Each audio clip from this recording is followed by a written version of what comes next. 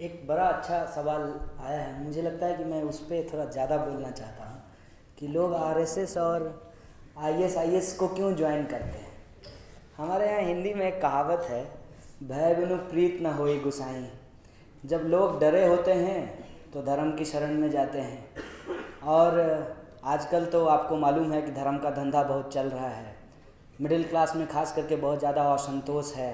डेढ़ लाख की सैलरी पाने के बावजूद घर में शांति नहीं है।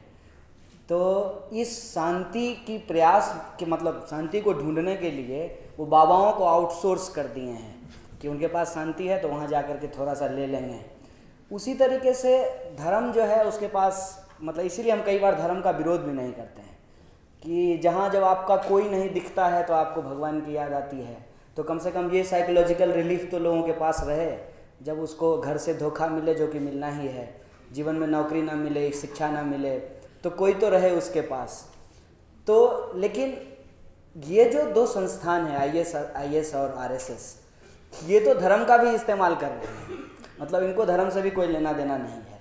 आम इंसान की धारणा ये होती है, मैं बार बार आपको बोलता हूँ, कि लोग जो बीजेपी को वोट देते हैं, वो नहीं जानते हैं कि मुंजे क्या बोले हैं, सावरकर क्या बोले हैं। उनको ये लगता है कि पिछला विधायक कांग्रेसी था, काम नहीं किया, रोड नहीं बनाया, इसलिए बीजेपी को वोट दे देते हैं। इसको थोड़ा समझना पड़ेगा हमको कि एक्चुअली होता क्या है। हमको लगता है कि हम लोग रिएक्ट ज़्यादा करते हैं, काम कम करते हैं। हम लोग भी अगर काम ज़्यादा करें और रिएक्ट कम करें तो लोग आरएसएस और आईएसआईएस को ज्वाइन नहीं करेंगे। ग्राउंड पे उनका काम है, और काम वो कैसे करते हैं? साढ़े छः सौ से ज़्यादा संगठन है आरएसएस के, और सबसे जो इम्पोर्टेंट काम वो करते हैं, वो स्कूल चलाते हैं। बचपन में ही बच्चे को, उसके जो है माइंड को वो कैप्चर कर लेते हैं। और जब वो स्कूल से निकलता है तो फिर कॉलेज में अभी झारखंड के अंदर वो लोग कमल क्लब शुरू कर रहे हैं। पब्लिक फंडेड जो रिसोर्सेज है, उसका इस्तेमाल करके अपनी आइडियोलॉजिकल ट्रेनिंग लोगों को दे रहे हैं। आदिवासियों के बीच में उनका बनवास बनवासी कल्याण समिति चलती है। अब तो जो है, माइनॉरिटी को भी कैप्चर करने के लिए उन्होंने जो है, एक मुस्लिम फ्रंट बना लिया है। तो वो ग्राउंड पे जो है, बहुत काम करते हैं। और इस वजह से जो है, लोग उनके साथ जुड़ते हैं। नहीं तो उसमें मतलब कितनी बोगस बात है उसको मैं आपको बताता हूँ। एक वीडियो दिखा देखा था जिसपे ये दिखाया था कि मुजफ्फरनगर के अंदर उस इलाके में आरएसएस जो है सुबह सुबह लोगों को लाठी चलाने की ट्रेनिंग देता है और ये कहता है कि आईएसआईएस का हमला होने वाला है। सपोज़ कीजिए कि आईएसआईएस का हमला हो गया तो वो ए के फोर्टी सेवन से वो ए के फोर्टी सेवन से अटैक करेगा और ये उसका मुकाबला लाठी से करेंगे। तो दरअसल क्या करते हैं ये लोग? खौफ डर जो टेरर है उसको ये लोग फैलाते हैं समाज के अंदर और दोनों एक दूसरे की मदद करते हैं। तो अगर आरएसएस बड़ा होगा तो ऑटोमेटिक जो है इस्लामिक फंडामेंटलिज्म के लिए स्पेस समाज के अंदर बनेगा। अब मैं आपको बार बार ये बात बोलता हूँ कि अगर मुस्लिम लीग चुनाव जीत गया होता और कांग्रेस चुनाव हार गई होती तो देश का बंटवारा नहीं होता। ये जो इस देश का सेकुलर क्रेडेंशियल है, वो सिर्फ़ किसी पॉलिटिकल पार्टी के ऊपर निर्भर नहीं करता है। वो हमारा ट्रेडिशन है। वो बुद्ध की परंपरा, कबीर की परंपरा, गुरु नानक की परंपरा, सूफिज्म का जो इतना स्ट्रॉन्ग ट्रेडिशन इस देश के अंदर रहा है, उसके चलते एक सेकुलर क्रेडेंशियल है। तो पूरी की पूरी जनता जो है वो कम्युनलाइज नहीं हो गई है। मैं आपकी बात से सहमत नहीं हूँ। पूरी की पूरी जनता कम्युनलाइज नहीं हो गई है। लेकिन उनका काम इतना ज़बरदस्त है, इतना ग्राउंड पे वो काम करते हैं और पॉलिटिकल इकोनॉमी को इतने अच्छे तरीके से उन्होंने मास्टर किया है कि लोगों को रोज़गार मिलनी नहीं है। 65 परसेंट यूथ और कितना बड़ा बकलोल है इस बात को आप समझिए कि अपना चेहरा छोड़ करके मोदी का हवा लगा करके घूमता है तो उसको समझ में नहीं आता है कि तुम नौजवान हो, तुम्हारे अंदर चीज़ों को करने की क्षमता है और तुम पैंसठ बरस के आदमी को अपना नेता मानते हो युवा नेता कहते हो उसको, है? तो ये समझदारी का सवाल है। कितने नौजवान हैं, मुझे बताइए कि वोट देने से पहले इस बात का डिस्कशन करते हैं कि देखते हैं कि कौन सी पॉलिटिकल पार्टी का, हम ए बी का नाम नहीं लेते हैं। घोषणा पत्र सबसे अच्छा है, जिसमें एजुकेशन और यूथ के लिए इम्प्लॉयमेंट और जो सब्सिडी का जो मतलब एलोकेशन है, उसको बढ़ाएँगे, शिक्षा के बजट को बढ़ाएँगे सड़कें बनाएँगे। इसका घोषणा पत्र कम से कम कितना अच्छा किसका है? और उसके बाद जब अगली बार पाँच साल के बाद चुनाव होगा तो इस बात पर डिस्कशन करेंगे कि इसने जो है अपने घोषणा पत्र के हिसाब से काम नहीं किया है, इसलिए इसको वोट नहीं देंगे। वोट कहाँ से देता है लोग? जात देख करके वोट देगा, धर्म देख करके वोट देगा। और ये सब कुछ, मैं मैं इतना परेशान हो गया, मुझे अपनी जाति के बारे में बिहार में नहीं मालूम चला था। मुझे जे एन यू आकर के पता चला, वो भी चुनाव के समय में। तो ये जब जेएनयू में पढ़ने वाला आदमी अगर इतना कास्टिस्ट है, और जो आपने सवाल पूछा, बहुत इंटरेस्टिंग सवाल है। हम लोगों को तो ज़्यादातर समय पता ही नहीं चलता है कि शोषण क्या है। जो शोषक होता है, उसको मालूम है कि किसके साथ कैसे शोषण करना है। अगर हमको एक्सक्लूड करना है सिस्टम से तो कभी बिहारी बोल करके एक्सक्लूड कर देगा। कभी बोलेगा कि इसको बढ़िया अंग्रेज़ी नहीं बोलने आता है। कभी ये बोल करके एक्सक्लूड कर देगा कि इसके पास ड्रेसिंग सेंस नहीं है। एक्सक्लूजन के अलग अलग लेवल होते हैं। और इसी इसी डिफरेंसेस में तो हम फंसे हुए हैं। हम कह दें कि वो कश्मीरी है, ये बिहारी है, वो महिला है, ये हिंदू है, वो मुसलमान है, ये दे ये बरेलवी है, ये देवबंदी है, इसी में तो हम फंसे हुए हैं। हमारा सवाल यही है कि आज के समय में अगर आप सोशल ट्रांसफॉर्मेशन चाहते हैं, अगर आप चाहते हैं कि टेरर सोसाइटी के अंदर ख़त्म हो तो क्या हो सकता है? आपको इक्वलिटी के प्रयास करने पड़ेंगे। कितना स्मार्टली जो है वो यूज़ करता है? एकल हिंदू।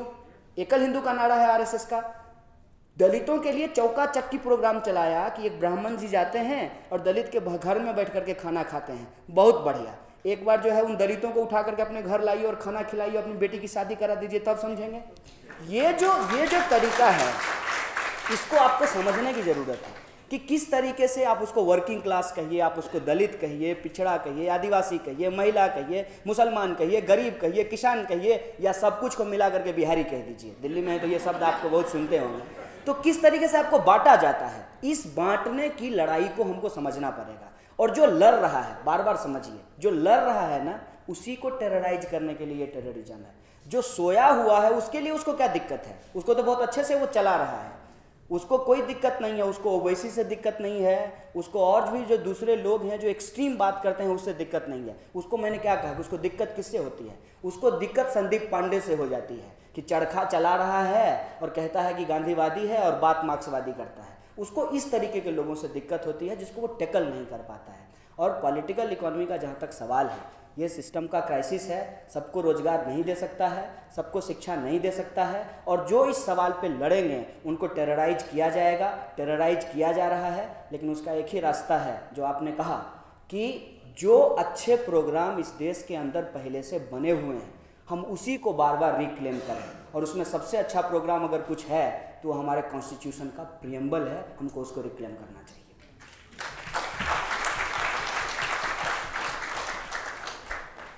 तो उसमें मतलब कितनी बोगस बात है उसको मैं आपको बताता हूँ। एक वीडियो दिखा देखा था जिसपे ये दिखाया था कि मुजफ्फरनगर के अंदर उस इलाके में आरएसएस जो है सुबह सुबह लोगों को लाठी चलाने की ट्रेनिंग देता है और ये कहता है कि आईएसआईएस का हमला होने वाला है। सपोज़ कीजिए कि आईएसआईएस का हमला हो गया तो वो ए के फोर्टी सेवन से वो ए के फोर्टी सेवन से अटैक करेगा और ये उसका मुकाबला लाठी से करेंगे। तो दरअसल क्या करते हैं ये लोग? खौफ डर जो टेरर है उसको ये लोग फैलाते हैं समाज के अंदर और दोनों एक दूसरे की मदद करते हैं। तो अगर आरएसएस बड़ा होगा तो ऑटोमेटिक जो है इस्लामिक फंडामेंटलिज्म के लिए स्पेस समाज के अंदर बनेगा। अब मैं आपको बार बार ये बात बोलता हूँ कि अगर मुस्लिम लीग चुनाव जीत गया होता और कांग्रेस चुनाव हार गई होती तो देश का बंटवारा नहीं होता। ये जो इस देश का सेकुलर क्रेडेंशियल है, वो सिर्फ़ किसी पॉलिटिकल पार्टी के ऊपर निर्भर नहीं करता है। वो हमारा ट्रेडिशन है। वो बुद्ध की परंपरा, कबीर की परंपरा, गुरु नानक की परंपरा, सूफिज्म का जो इतना स्ट्रॉन्ग ट्रेडिशन इस देश के अंदर रहा है, उसके चलते एक सेकुलर क्रेडेंशियल है। तो पूरी की पूरी जनता जो है वो कम्युनलाइज नहीं हो गई है। मैं आपकी बात से सहमत नहीं हूँ। पूरी की पूरी जनता कम्युनलाइज नहीं हो गई है। लेकिन उनका काम इतना ज़बरदस्त है, इतना ग्राउंड पे वो काम करते हैं और पॉलिटिकल इकोनॉमी को इतने अच्छे तरीके से उन्होंने मास्टर किया है कि लोगों को रोज़गार मिलनी नहीं है। 65 परसेंट यूथ और कितना बड़ा बकलोल है इस बात को आप समझिए कि अपना चेहरा छोड़ करके मोदी का हवा लगा करके घूमता है तो उसको समझ में नहीं आता है कि तुम नौजवान हो, तुम्हारे अंदर चीज़ों को करने की क्षमता है और तुम पैंसठ बरस के आदमी को अपना नेता मानते हो युवा नेता कहते हो उसको, है? तो ये समझदारी का सवाल है। कितने नौजवान हैं, मुझे बताइए कि वोट देने से पहले इस बात का डिस्कशन करते हैं कि देखते हैं कि कौन सी पॉलिटिकल पार्टी का, हम ए बी का नाम नहीं लेते हैं। घोषणा पत्र सबसे अच्छा है, जिसमें एजुकेशन और यूथ के लिए इम्प्लॉयमेंट और जो सब्सिडी का जो मतलब एलोकेशन है, उसको बढ़ाएँगे, शिक्षा के बजट को बढ़ाएँगे सड़कें बनाएँगे। इसका घोषणा पत्र कम से कम कितना अच्छा किसका है? और उसके बाद जब अगली बार पाँच साल के बाद चुनाव होगा तो इस बात पर डिस्कशन करेंगे कि इसने जो है अपने घोषणा पत्र के हिसाब से काम नहीं किया है, इसलिए इसको वोट नहीं देंगे। वोट कहाँ से देता है लोग? जात देख करके वोट देगा, धर्म देख करके वोट देगा। और ये सब कुछ, मैं मैं इतना परेशान हो गया, मुझे अपनी जाति के बारे में बिहार में नहीं मालूम चला था। मुझे जेएनयू आकर के पता चला, वो भी चुनाव के समय में। तो ये जब जेएनयू में पढ़ने वाला आदमी अगर इतना कास्टिस्ट है और जो आपने सवाल पूछा, बहुत इंटरेस्टिंग सवाल है। हम लोगों को तो ज़्यादातर समय पता ही नहीं चलता है कि शोषण क्या है। जो शोषक होता है, उसको मालूम है कि किसके साथ कैसे शोषण करना है। अगर हमको एक्सक्लूड करना है सिस्टम से तो कभी बिहारी बोल करके एक्सक्लूड कर देगा। कभी बोलेगा कि इसको बढ़िया अंग्रेज़ी नहीं बोलने आता है। कभी ये बोल करके एक्सक्लूड कर देगा कि इसके पास ड्रेसिंग सेंस नहीं है। एक्सक्लूजन के अलग अलग लेवल होते हैं। और इसी इसी डिफरेंसेज में तो हम फंसे हुए हैं। हम कह दें कि वो कश्मीरी है, ये बिहारी है, वो महिला है, ये हिंदू है, वो मुसलमान है, ये देह ये बरेलवी है, ये देवबंदी है, इसी में तो हम फंसे हुए हैं। हमारा सवाल यही है कि आज के समय में अगर आप सोशल ट्रांसफॉर्मेशन चाहते हैं, अगर आप चाहते हैं कि टेरर सोसाइटी के अंदर ख़त्म हो तो क्या हो सकता है? आपको इक्वलिटी के प्रयास करने पड़ेंगे। कितना स्मार्टली जो है वो यूज़ करता है? एकल हिंदू। एकल हिंदू का नारा है आरएसएस का। दलितों के लिए चौका चक्की प्रोग्राम चलाया कि एक ब्राह्मण जी जाते हैं और दलित के घर में बैठ करके खाना खाते हैं। बहुत बढ़िया। एक बार जो है उन दलितों को उठा करके अपने घर लाइए और खाना खिलाइए अपनी बेटी की शादी करा दीजिए तब एक बड़ा अच्छा सवाल आया है। मुझे लगता है कि मैं उस पर थोड़ा ज़्यादा बोलना चाहता हूँ कि लोग आरएसएस और आईएसआईएस को क्यों ज्वाइन करते हैं? हमारे यहाँ हिंदी में एक कहावत है, भय बिनु प्रीत न होई गुसाई। जब लोग डरे होते हैं तो धर्म की शरण में जाते हैं। और आजकल तो आपको मालूम है कि धर्म का धंधा बहुत चल रहा है। मिडिल क्लास में खास करके बहुत ज़्यादा असंतोष है। डेढ़ लाख की सैलरी पाने के बावजूद घर में शांति नहीं है। तो इस शांति की प्रयास के मतलब शांति को ढूँढने के लिए वो बाबाओं को आउटसोर्स कर दिए हैं कि उनके पास शांति है तो वहाँ जा कर के थोड़ा सा ले लेंगे। उसी तरीके से धर्म जो है उसके पास मतलब इसीलिए हम कई बार धर्म का विरोध भी नहीं करते हैं। कि जहाँ जब आपका कोई नहीं दिखता है तो आपको भगवान की याद आती है। तो कम से कम ये साइकोलॉजिकल रिलीफ तो लोगों के पास रहे, जब उसको घर से धोखा मिले, जो कि मिलना ही है। जीवन में नौकरी ना मिले, शिक्षा ना मिले तो कोई तो रहे उसके पास। तो लेकिन ये जो दो संस्थान है आई एस आई एस और आर एस एस ये तो धर्म का भी इस्तेमाल कर रहे हैं। मतलब इनको धर्म से भी कोई लेना देना नहीं है। आम इंसान की धारणा ये होती है, मैं बार बार आपको बोलता हूँ, कि लोग जो बीजेपी को वोट देते हैं, वो नहीं जानते हैं कि मुंजे क्या बोले हैं, सावरकर क्या बोले हैं। उनको ये लगता है कि पिछला विधायक कांग्रेसी था, काम नहीं किया, रोड नहीं बनाया, इसलिए बीजेपी को वोट दे देते हैं। इसको थोड़ा समझना पड़ेगा हमको कि एक्चुअली होता क्या है। हमको लगता है कि हम लोग रिएक्ट ज़्यादा करते हैं, काम कम करते हैं। हम लोग भी अगर काम ज़्यादा करें और रिएक्ट कम करें तो लोग आरएसएस और आईएसआईएस को ज्वाइन नहीं करेंगे। ग्राउंड पे उनका काम है, और काम वो कैसे करते हैं? साढ़े छः सौ से ज़्यादा संगठन है आरएसएस के, और सबसे जो इम्पोर्टेंट काम वो करते हैं, वो स्कूल चलाते हैं। बचपन में ही बच्चे को उसके जो है माइंड को वो कैप्चर कर लेते हैं। और जब वो स्कूल से निकलता है तो फिर कॉलेज में अभी झारखंड के अंदर वो लोग कमल क्लब शुरू कर रहे हैं। पब्लिक फंडेड जो रिसोर्सेज है, उसका इस्तेमाल करके अपनी आइडियोलॉजिकल ट्रेनिंग लोगों को दे रहे हैं।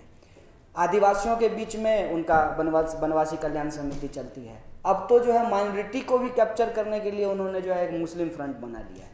तो वो ग्राउंड पे जो है, बहुत काम करते हैं। और इस वजह से जो है, लोग उनके साथ जुड़ते हैं। नहीं